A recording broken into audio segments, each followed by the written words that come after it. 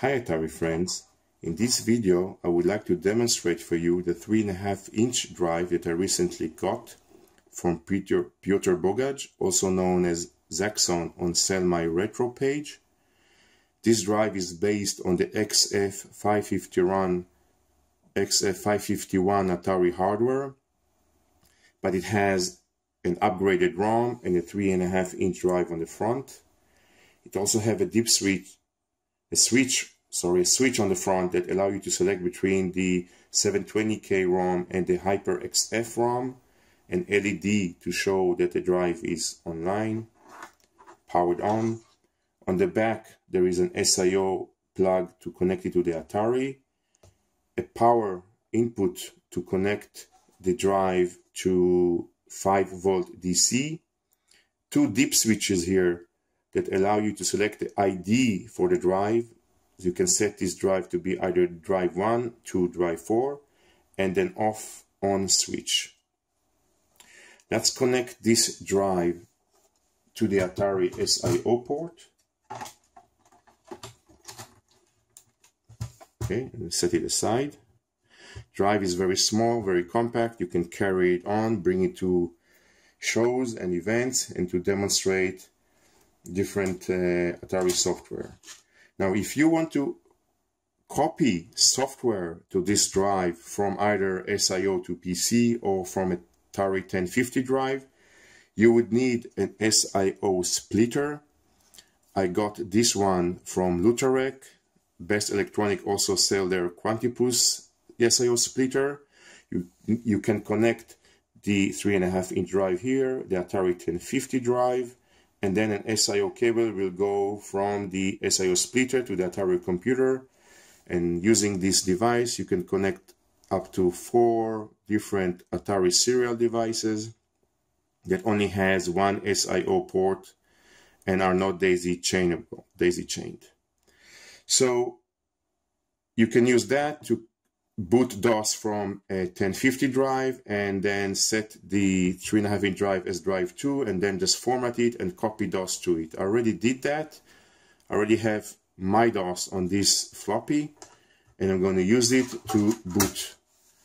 Let's first demonstrate the Atari computer using the standard operating system. On this piece, on this Atari I have the Ultimate 1 megabyte so I can change different operating system.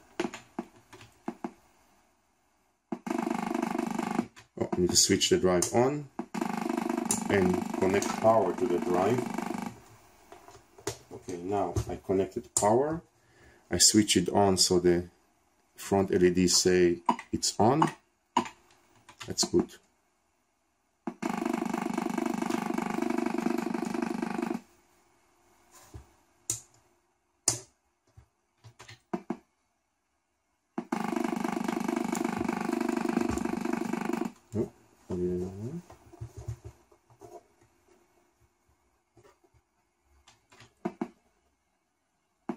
Okay, I had, I had a loose connection on the back.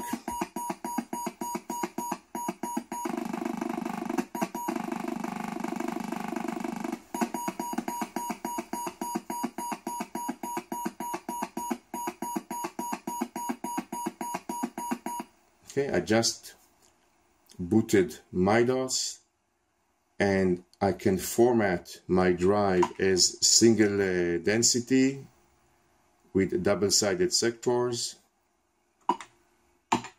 Can format is enhanced density or single density. If you can listen, you can hear that the drive is being formatted or the floppy is being formatted.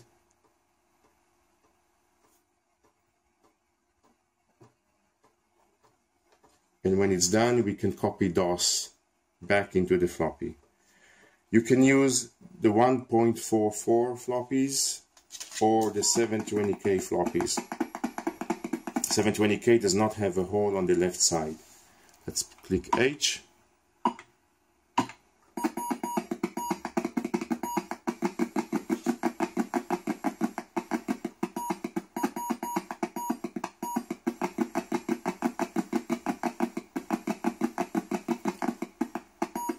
and now I've copied the DOS back into the drive. We got 663 free sectors on the floppy including DOS. So let's boot again.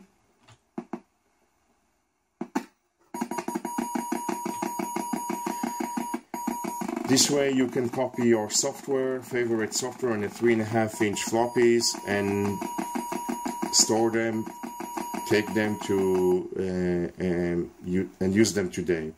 Now, if you have an Atari uh, computer with the Hyperspeed operating system,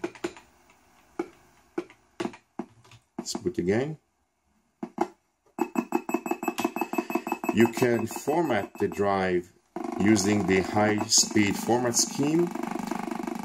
The operating system of the drive supports the high speed. So I'm going to do another format. And now the drive, the diskette sectors are being formatted in the layout of high speed format, which will allow me to load the floppy much faster. So if you have a, a, software or a game or that's supporting high speed or you have the high speed operating system, it's it, everything will be much faster.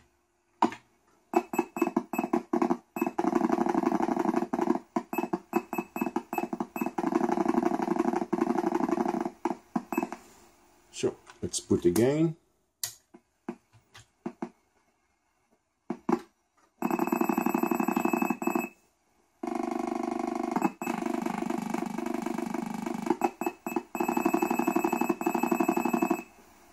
and DOS is being loaded. Now, I can also format this floppy as 720K to have 720K capacity. I can, I just need to insert the floppy into the drive. I need to configure drive 1 as a 720K drive. To do that, I need to push the letter O, change configuration. Uh, this drive is configurable, yes. Is this drive a high capacity drive? No, because high capacity is reserved for hard drive. Double density drive, yes, and it has 80 tracks. So I'm going to set, step rate one, I'm going to set this drive to be an 80 track drive. And now I'm formatting the uh, three and a half inch floppy with 80 tracks. So it will hold capacity of 720k uh, data. The formatting process does take longer because it has to format more tracks but once it will be finished we can see that there are more sectors into the floppy so using a single side uh, format uh, we only had uh, 600 sectors, around 600 sectors, but they were double density sectors because this is a double density drive. When, when we format it with 80 tracks, we will get more sectors into the floppy and we can copy more data there. Today, this drive can help you to store your copy your old floppies into new floppies. It will allow you to store more data into the drive itself. Back in the day, this will be very handful to use as a BBS or, or when you do programming or anything, any device that you needed to have um, more storage capacity. Let's look at the content of the, now we have 2,867 free sectors double density sectors on that floppy. Let's write DOS to it.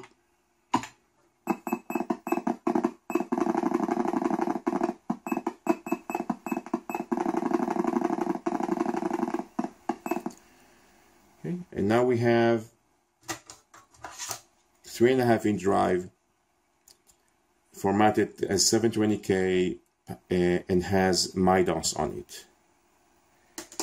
Earlier, I copied here the game Zork, which is a single side, single density uh, floppy, five and, uh, and a quarter inch floppy. I just did a copy from drive one to drive two.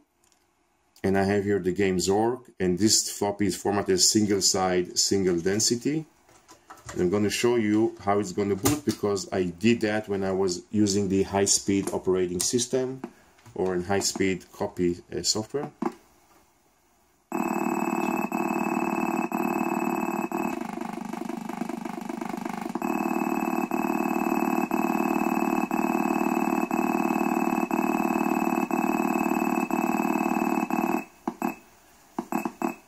And now I have the game Zork, Zork 3, loaded from a 3.5 inch floppy on an Atari computer in super speed because I have the high speed operating system. If not, it will just load as a normal speed like the uh, 1050 would uh, do for me.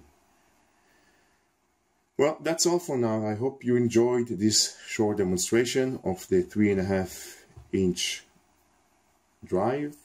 And until next time, keep, enjoy, and play with your Atari.